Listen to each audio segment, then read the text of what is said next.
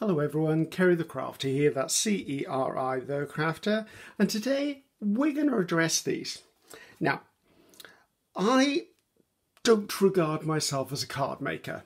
I assemble cards from bits of ephemera that I have made for other things. Like this could be a journal front and I've turned into a card. So I don't categorize myself as a card maker, although loads of people say, well, you're making a card, you're a card maker. Yeah, there's there's something about lick and sticking a card, and there's something about being creative with folds and gate folds and dead folds and waterfall cards and blah blah. This this is just what I do. I love making these. I don't send cards out except when I send out for a swap or I send someone happy mail. So these are always little bits of my art, and before they go out, I do stamp that they're made from me. So these were the last three I made, and I thought, right, there's so many questions about how are they, what are they, how have you done them, how they look like that. I'm just going to recreate these three cards. Now, I'm not going to be able to recreate them perfectly because I don't have all of the exact stuff again. Um, I might just be able to do this one again perfectly, but anyway, that's not the point. All they are is I make these toppers and then I stick them onto blank cards and I buy the blank cards on the internet. I buy them in bundles. They come with matching envelopes. And then when it comes to sign time to send them out, I'll either get onto my computer and I'll print off a piece of paper that I fold and stick in here with what I want to say and sign it because my handwriting is horrible or I will handwrite a little message as, as neatly as I can. And there are many out there who will contact me and gone, Ceri, what does this say? And sent me a photograph of my own handwriting. So I'm never insulted by that. So we're going to be addressing these and I'm going to make them accept. Because I've already got three in craft card, I'm going to do three in white. So the base for each of these is a book page. And I like to choose a light coloured book page. So one that's quite light um, in colour, not aged, not coffeed. Um, it's quite a light coloured book page. You can see I've got napkins here because that's where the images come from. Now I don't cut these down to any set size at the beginning. Okay, um, they are going to be backed, the images, onto um, a layer of cardstock and I will give you me measurements as I go along. The measurements for the card blanks I use are 5 inches by 7 inches. Things to remember when using book pages. Always have a quick glance over the book page so there's nothing untoward on them. I usually go for things like gardening books or things like that that have there's no way there's going to be swearing, bad words, offensive, religious, anything in here, racist, homophobic, nothing's likely to be in a gardening book. So I tend to, and I've got this one book that I tend to use these for. Um, I try not to have too many titles in them. Um, and I try not to have that, so I always make sure it's a full page. So, preparing my napkins, right. This one's already done. As you can see, it's quite slim and transparent. When you get a napkin, you're going to find that, um, oh, that one's already done as well, um, that there's actually um, layers to it. Now, a lot of napkins will have two layers and then the image layer. Some napkins, some less expensive ones, however, will actually have one layer and the image layer. So now, a couple of ways of doing this. I sometimes just wet my fingers and I pinch, and as I pull them apart, you'll see they pull the layers apart. If that's not working for you, if you get some sticky tape, or I've got some, I've got some washi tape here, it should work washi tape. Um, if you press that down onto the back and pull, it'll tear off the first layer. Press it down again and pull, it'll tear the second layer. So you're looking to remove everything except the layer and you will know you're at the right layer because as you can see you can see the image through through the thin um, napkin front now I have lots and lots and lots of napkins um, I love using napkins, so I use them for lots of things. Now, I'm not particularly cutting these down to any size. This one I pulled out the two pieces because I wasn't quite sure which one I wanted to use, but looking at this book here, I think that will work. So let's put this one back in the drawer because that's the only bit I've got left of that one. Now, as I said, I'm going to keep this really simple because I don't have time for making loads of cards. When I make them, I want them to be simple. Now, I would say remember this writing panel here. Okay, so measurements for my card. This is a 5 by 7 card. So the smallest image is about 4 inches. So if I look at this, I try to make sure that's at least 4 inches, the written area, and it's at least 6, 6.5 on here. So I know that I've got enough area to actually glue on, and I'm trimming them afterwards anyway. I'm using just a regular Pritt stick. It's my glue stick of choice. And then there's one more element you need to bring in, and that is, um, I call it cling film. Some people call it plastic wrap. Some people in the States will call it saran wrap. Um, I like to get a piece for each of the cards I'm making because if if you're using um, plastic wrap or cling film that's been used for another card, sometimes you'll find it will stick um, to the card itself. I'm just going to put a bit of paper back there just, just in case I go off the edges here. Now, I'm going to come in and I'm going to put a generous layer on here.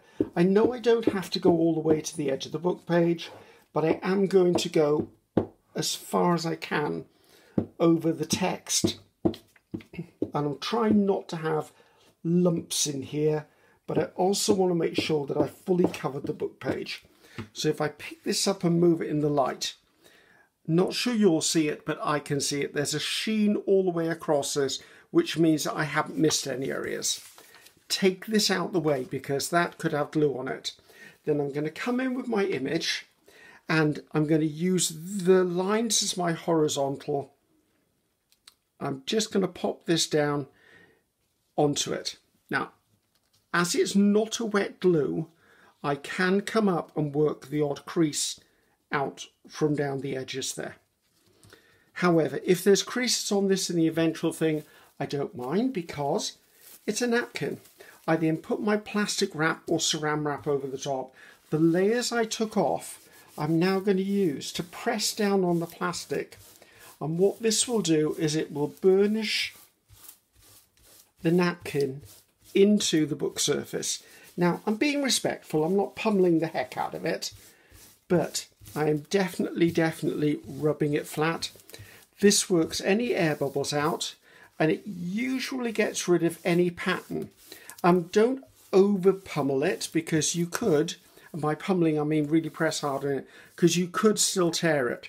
Now, because the napkin surface is what I call a semi-permeable skin, in that stuff will come through it. You're going to find part of the glue may have come through. So gently peel back the plastic wrap. Get rid of this. Um, it's probably got a very fine layer of glue on it. Get rid of it now. It's cheap as chips, don't bother. As you can see now, there are no air bubbles. It's all nicely pressed down and my image is set. So I need to do that for all three of these images. So bear with me, that's what we're doing in this tutorial. Um, feel free to fast forward to um, a section where you see that I'm no longer gluing down, but I like to keep things in real time so you actually get an idea of how long the whole process would take. Um, these, as I said, I will use this process for doing journal cards. I will do it for um, the toppers for journal covers. I will do this on tags. I mean, it's, it's my go-to process for putting napkins down. Now this one that's really, really faint is going to be overlaid by another piece of ephemera later on. So just pop that down and press it down. Now this is also a process that I use for rice paper if I'm if I'm worried that I'm going to damage the rice paper.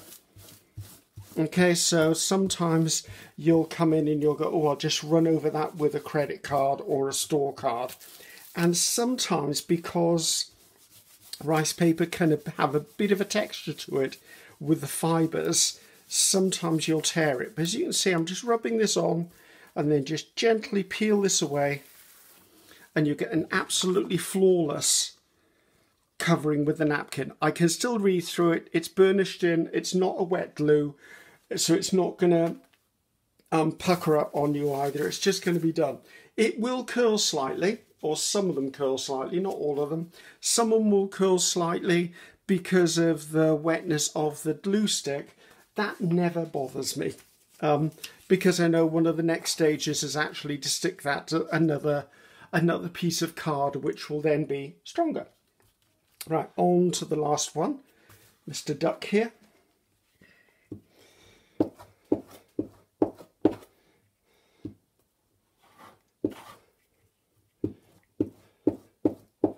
This is also what I call quite a clean process in that um, you can do this in a small area.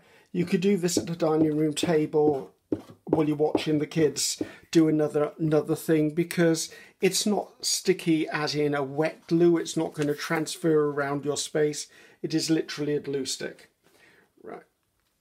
This is a shorter image, so I'm going to put him on and I'm going to leave the blue on the bottom, but I'm not not particularly bothered whether I use um, the blue at the bottom, but I like to show you that not all images need to fit the height of the backing card. So if we look at the one I did, see I cut this a lot shorter so it's more of a gap than the quarter of inch and also I only made it narrow just to focus on the duck itself or the mat. Is it a mandrake? Man Mandarin duck? No, it's not a mandarin duck. I know what this duck is and I can't remember what it is. So, right, so he is on there now. So that's pretty much um, the majority of the gluing done.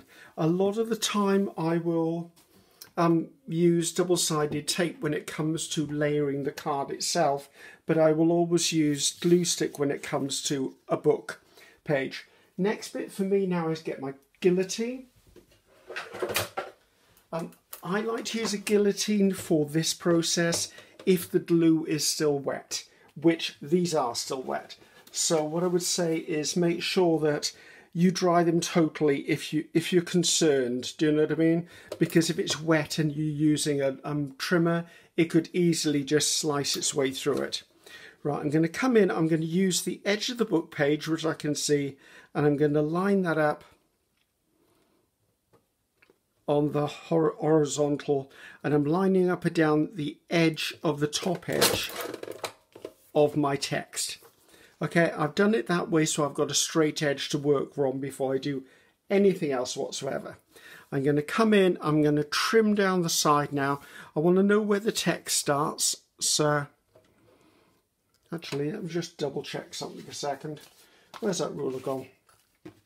So this was four inches wide. So what I'm going to do is I'm going to check that four inches here, I can still see the text and I'm going to come in, chop that down, come in again. Now this, this measurement here for me was six inches. So I'm going to come in with six inches here. Um, if you want a specific part of your image, of course, um, you need to focus on that one. So, so that has given me a six by four image, which is exactly the same size as this one. Okay, that's the first image done. Now, you will have cut off pieces. It'll depend on how large your book page was. You might be able to rescue this, like if this was a book bigger book page, maybe that bit was on a wider piece. You could turn it into a tag or something. For me, these are just going in the bin. Right, I'm going to do the same thing on here. Exactly, so lots of repeat processes here, guys.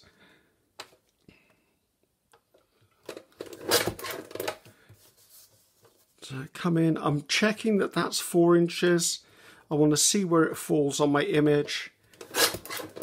They're going to come in. Now, I'm actually going to change this slightly because as you can see, my image is here. I quite like this part. So I want to try and, not try, I'm going to take it off. So I save that, which means I'll have to sacrifice a bit more up there. But I'm just going to cut this off here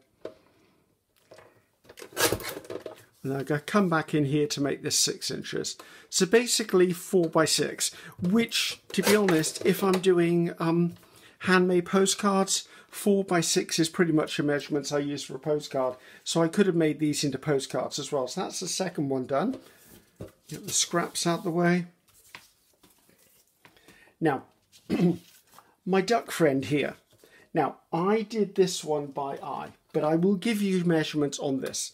So I'm just So I'm just going to come in I'm going to cut it off where that blue line is.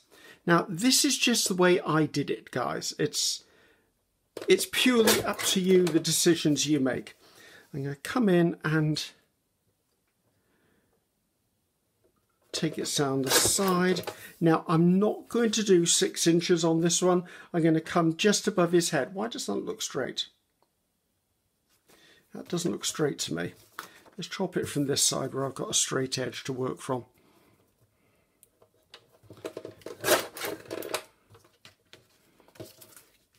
So I think I think I was talking and not thinking or working.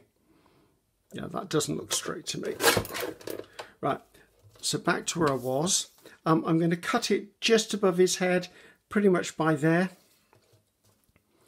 Now I'm struggling slightly because I would normally let these images dry, but because because I'm doing it for the video, I'm working, these are still gluey, okay? So I come in, I'm sort of kind of centralizing the duck in this instance.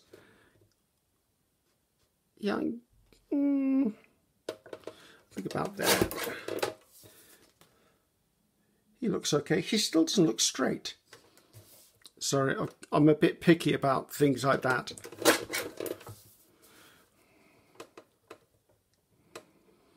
I sometimes have trouble with, well, the reason I use a guillotine is because for some reason I can never cut a straight line on a trimmer.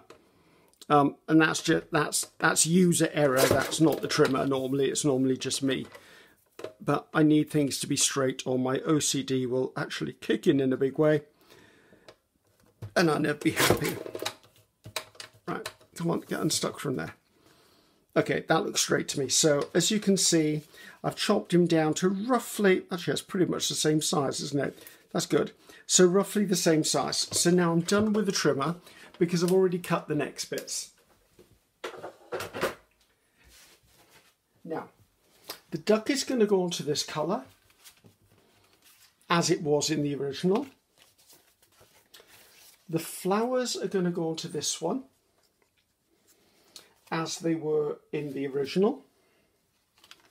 And then the sunflowers are going to go onto the purple because that's as we were in the original. The reason I chose this colour, by the way, is um, purple is a complementary to yellow.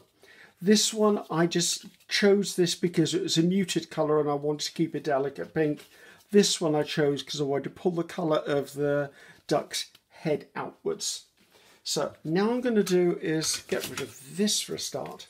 Right, all of these panels have been cut the same size. Okay, they're all cut to four and a half inches by six and a half inches.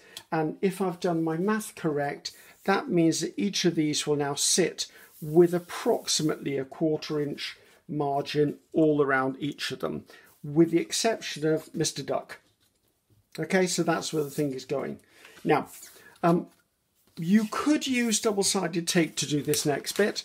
I choose not to because I'm not the greatest at centralizing images on layers. So I like to use glue stick again because I know I'm going to have a bit of wiggle time.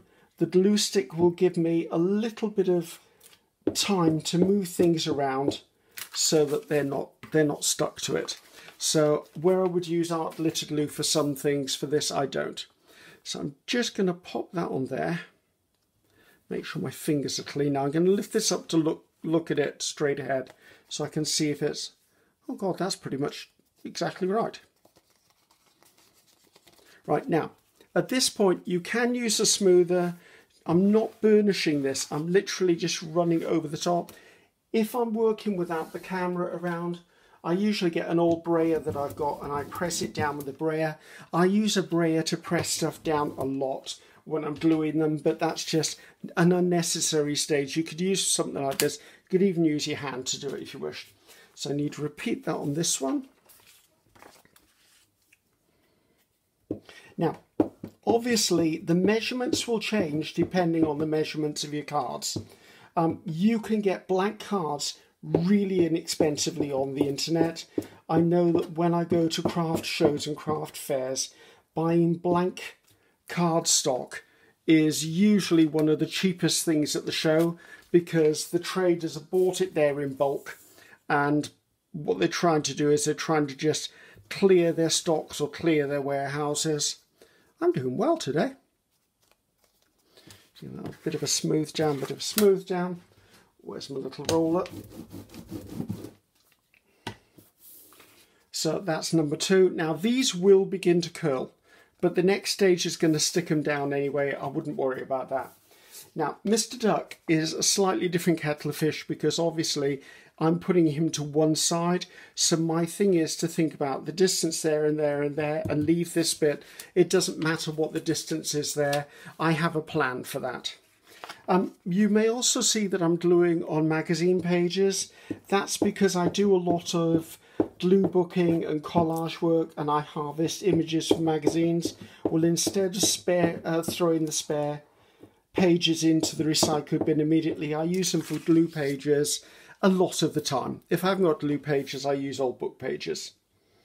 So, I tell you what, the lining up gods are with me today. This never happens.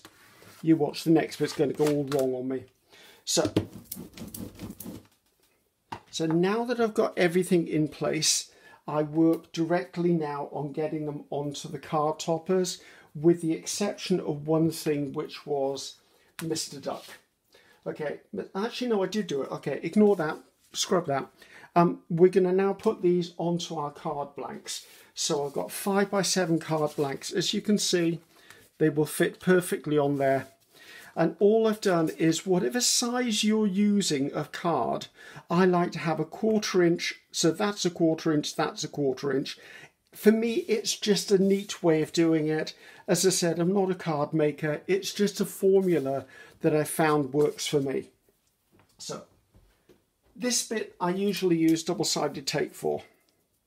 So this is what's called finger lift tape. So there's actually an edge on it. So I'm going to turn my image over. I'm going to pop double-sided tape. It tears really easily, this version. I mean, you could do this with a, a tape runner as well if you've got one. I don't have a tape runner. I don't get on with them. Um, for me, they they add more frustration to my life than actually helping, so I tend not to use them.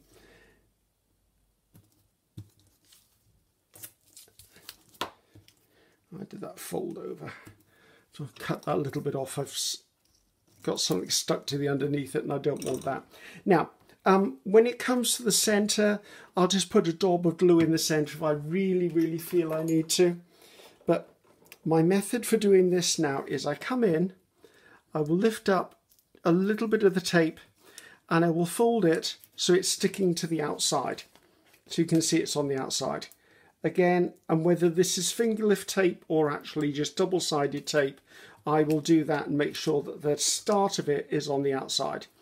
This will help when it comes to sticking things down because the tape ends that I'm going to peel off will hover just above the surface. I'm going to come in, going to put a stripe of glue down the middle. Important, make sure your card opens in the right orientation before you do the next bit. So I'm going to sit this on here and as you can see, because those little flaps of the tape are there, it means that I can move this around without things engaging and sticking down. So once I've got that lined up, I'm going to press down in the middle and then I'm gently going to pull away the pieces of tape and what that does is it exposes the double-sided tape underneath so it's sticking down. This is a trick I learned off working on shopping channel TVs with card makers um, and it's a quick and easy way to do it because it's already stuck down now. So I now need to do that for the other two and then we'll get on to the decorating which as I'm duplicating a design, it means I don't have to think too hard, to be honest with you, because the design is already thought out. I made them already, so I'm just literally, I've already got the pieces pulled out. I can talk about them, and stick them down at the same time.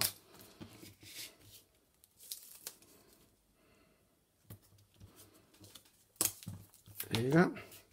Did I get purple under there? A little bit of purple under there. Okay, so again, doing what I did before, I'm using a pokey tool or an AWL all just to lift this off because I don't have fingernails. I cut my fingernails regularly and therefore I don't have nails that I can stick underneath. And I found with double-sided tape, one of these pokey tools is the best way to go. Funny enough, I can't seem to get it to work when I'm lifting the backs off labels though. It's weird. We all have our little foibles, and I think that's one of my labels are my nemesis.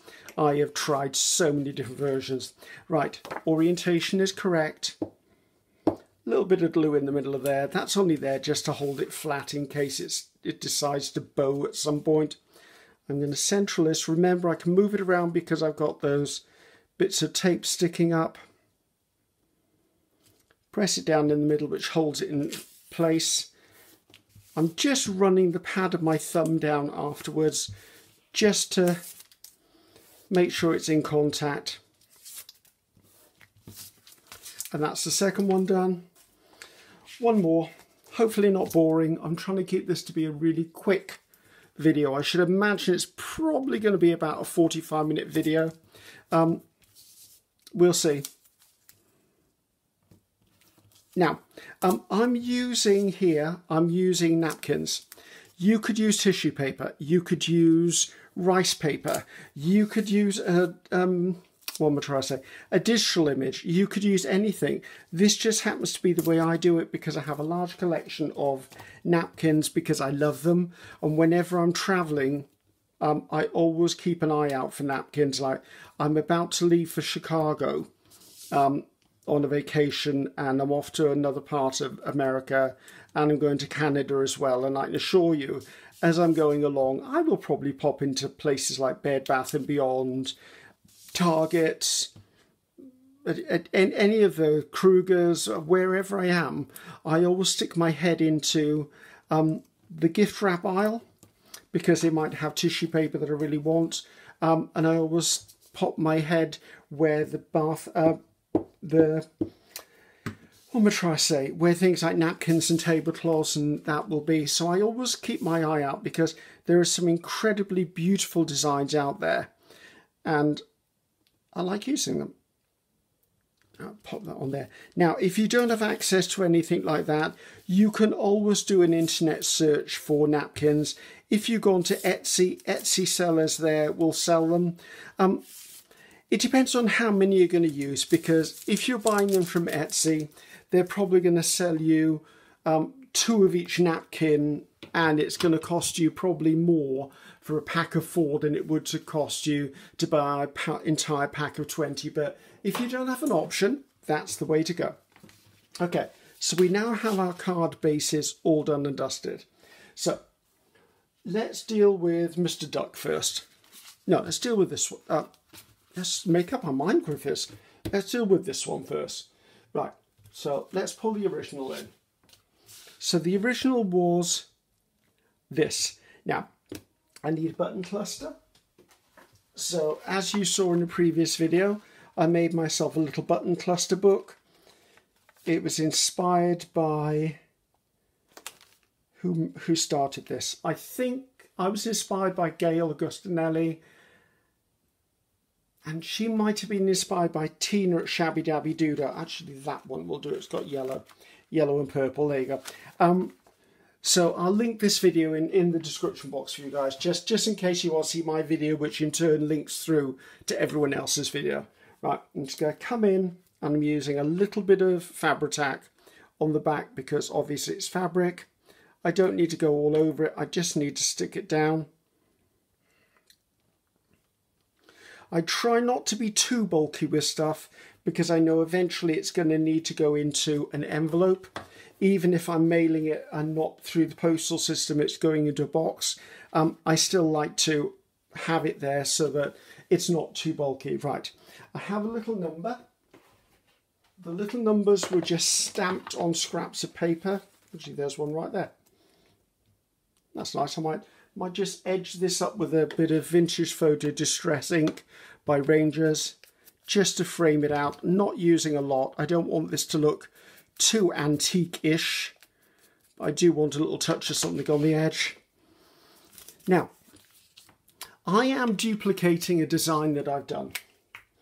There is no reason why, if you've got a pa packet of napkins and there's like 20 napkins in there, that you don't actually go through and make 20 identical cards from them. Because what are the chances of you sending the cards to exactly the same person?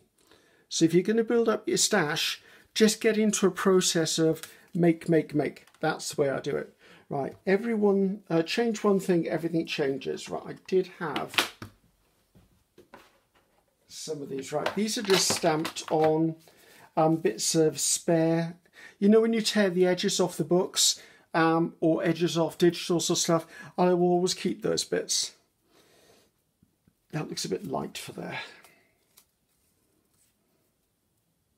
That might be okay, but I'll just trim this down a bit. Don't mind finger tearing it.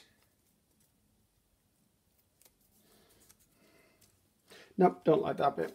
I overdid it. Oh, there you go, that's a bit will work.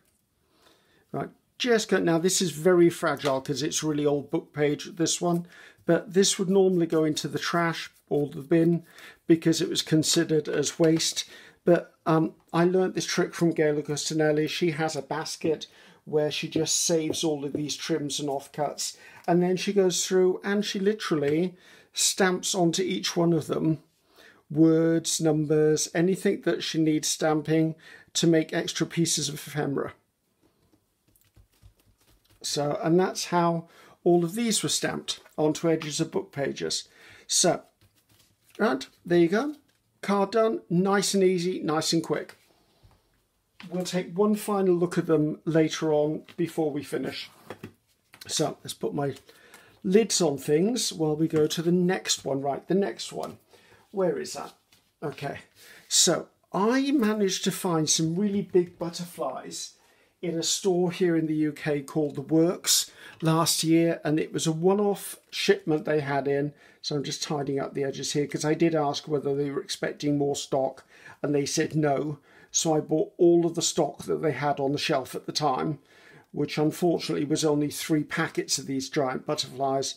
But I, I love them. They're not I wouldn't normally use things with gold and that in them, but I absolutely love these. And some of the butterflies are really huge. So I'm hoping that in future, if they saw that they were actually popular, not through my, my buying them, but just being popular, that they might just one day restock them. Right, I'm just going to go around here just to take any white off the edges. They were already die cut for me when I bought them but there's always a bit where the kiss cut just just misses the edge of the image. It's it's traditional, it happens. Right, so I need to cut the edge off here. Now I could go in with the scissors, but I'm not going to. I'm going to go in with the guillotine. I know with the scissors I can sometimes cut something slightly curving. So I'm just going to come in, I'm going to line the bottom of the butterfly up with my lines coming quite a far way. And chomp. Now, I haven't as yet found a use for this because this is cardstock, so I literally throw these away. Sorry if that offends anyone. It shouldn't do, but there is only so much I'm going to keep in my life. So um, I'm using art glitter glue for this because this is cardstock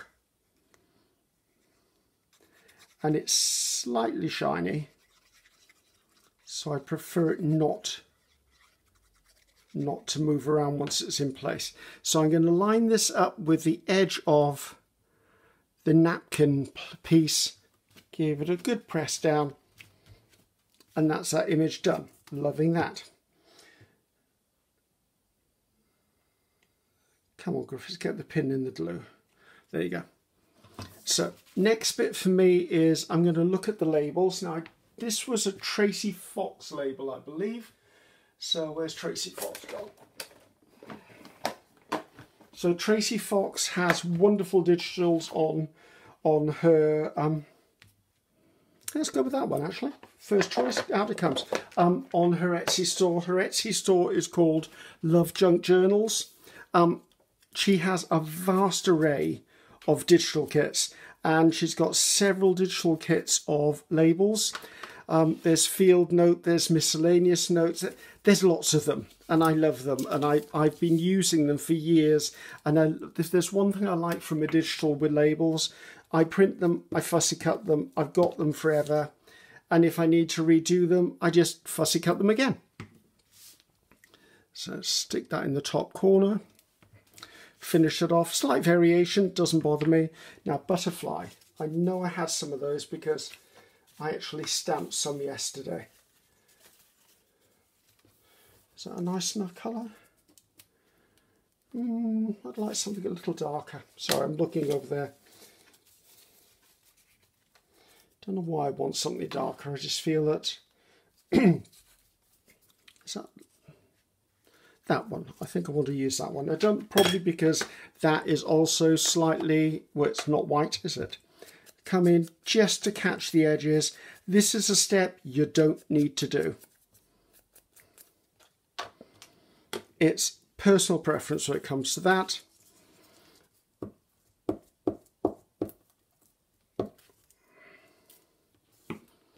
And stick this down. It's all about layers when I do stuff and I really love having the layers. So I've put the lid back on there. One more thing to do and that's that's the line I drew around it. So I need to get a pen so this is a 0.8 Unipin fine liner and all I'm going to do is I'm just going to draw a raggedy line around the edge of here. I'm trying not to be perfectly straight and that's on purpose because I wouldn't be able to draw it perfectly straight but I like the way the wiggly line actually just frames it out and it looks lovely.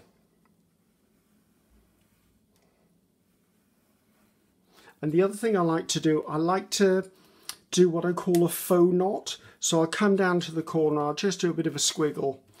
I'll do a bit of a squiggle as if the threads have been tied in the top and bottom corner. So again, that's the second one done. And on to Mr. Duck. Now Mr. Duck is slightly different. Mr. Duck would be slightly different, wouldn't he? Um, he has got a piece of trim so for this bit of trim down here, I actually have trims. Um, the trims I've made myself. And um, what I do is I tend to get strips of um, double-sided tape, like this is Tim Holtz tissue paper, and I'll stick it to it, leaving the back on the double-sided tape, and then this just gives me trims. And I do this with, this is like edges of cardstock. I do it with napkins. Um, there you go. There's a piece of napkin that was done. Napkin. I also have um, my own trims as a digital, so you could actually just print them and you don't even need to be double-sided, taped. You could just cut trim and actually just leave it leave it as is, to be honest, and just stick it down.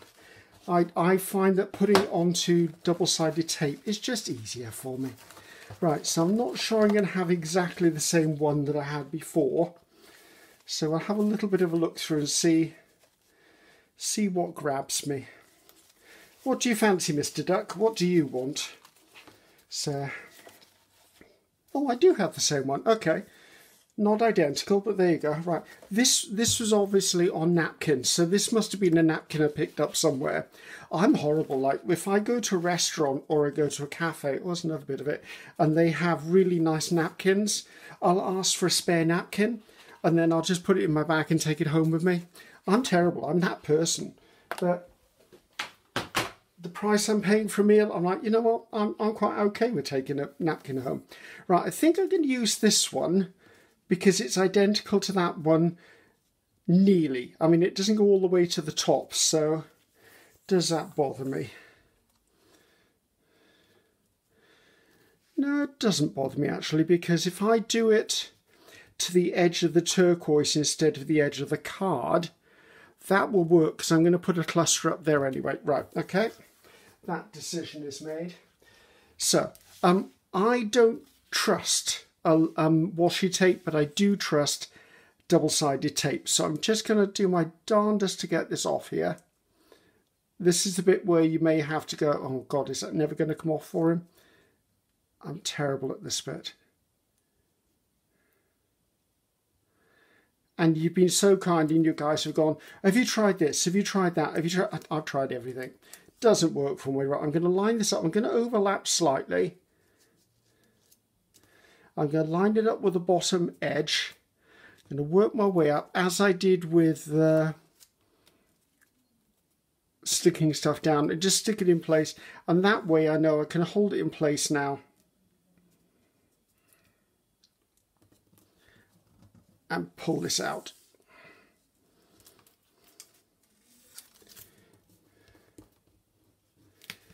So that's now in place, near enough the same as that. I don't think I've got another one of those. Um, I've got this one. Can you see them? It's finding, it's finding one that's complementary. What I tried to do is I tried to find a cluster that will pull something out of the image or is in with keeping. Now, I used this one because it was a kraft coloured card, so I could basically pull in something that is complementary to this colour, like this button here, but I don't like that one, so I do quite like the darkness of that one on there. I need to make some more of those, I think. Oh, wait, this might work. Okay, it's not, not exactly the same, but it will do because um, it's got similar elements to it. That will go nicely up there. Right, see, pull off some of these threads give it a little bit of a fringed edge. I'm okay with that. Now, again, I'm going to put this down with Fabri-Tac because I kind of have to. It's fabric. So I don't bother with too much on here unless it's got something like this that's going to fray.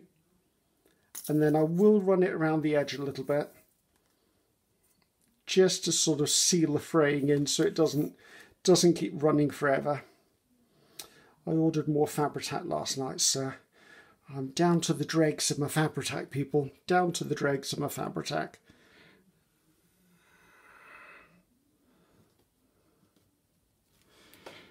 Right, so we just need to find the appropriate labels now. Or labels. Right, I'm not sure I need to match up the numbers perfectly. So let's just see if I can find something that's going to work.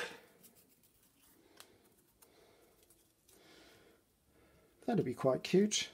Right, and I've, as you can see, it's on a piece of book page, and I'm just going to catch the edges of that book page because it adds another piece of interest onto there.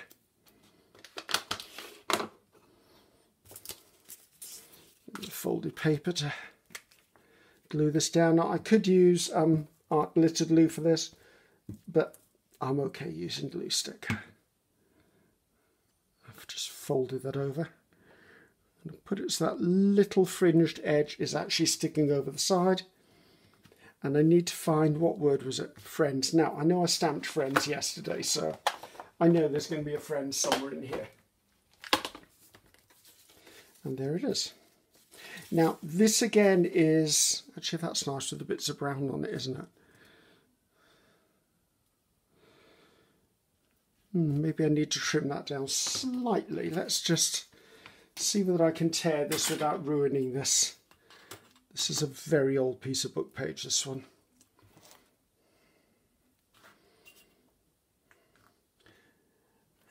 So I hope you don't mind me doing this video. I, as I said, basically I was getting so many questions about them. If someone asks in the comment how do I do them, I can just refer them to this video.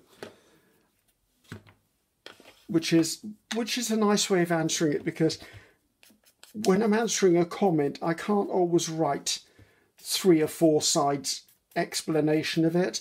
But if I just put a video link in and they watch the video, then they have the full in-depth explanation, which is exactly what I want them to have. Right, just stick this down.